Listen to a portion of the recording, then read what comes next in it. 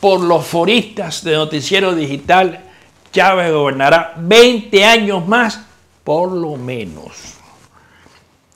Yo vengo siguiendo a Chávez.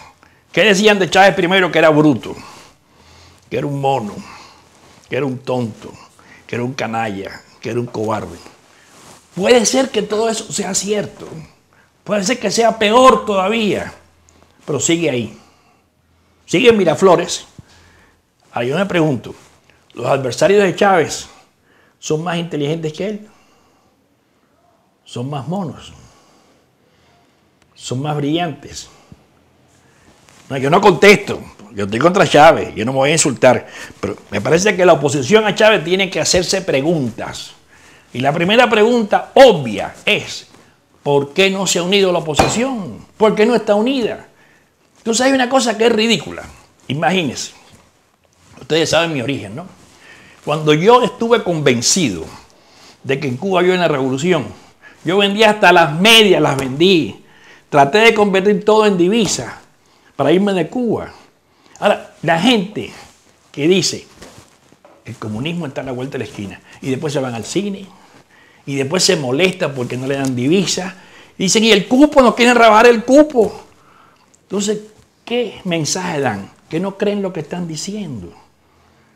Entonces no creen lo que está pasando. Y en Venezuela está pasando algo muy grave. Algo muy grave. Y lo peor de Venezuela es que gente como usted, que escribe en los foros, lo único que hace es escribir y escribir y escribir e insultar. Y eso tiene una respuesta, que yo le insulte a usted primero por culpa de gente como usted, si usted no se une, si usted no participa, si aquí no hay un gran movimiento nacional, pues Chávez seguirá allí. Mira, bajará el precio del petróleo, subirá, pasará lo que le dé la gana.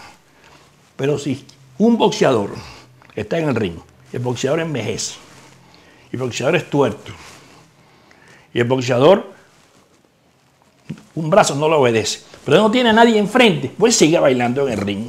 ¿Quién se le va a subir en el ring a Chávez? Yo no sé.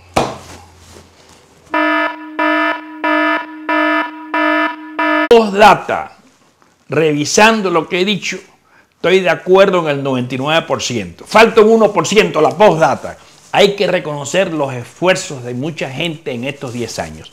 Esfuerzos equivocados, esfuerzos fracasados, esfuerzos abstencionistas, esfuerzo electoralista, pero gente que ha dado su tiempo. Y me refiero desde Enrique Mendoza a Carlos Ortega, con todos sus errores. Me refiero a la candidatura presidencial de Rosales, que inició el camino electoral en Venezuela. Me refiero a la victoria de Ledesma aquí en Caracas. Me refiero a la victoria de Carlos Ocariz. Todos esos son esfuerzos meritorios.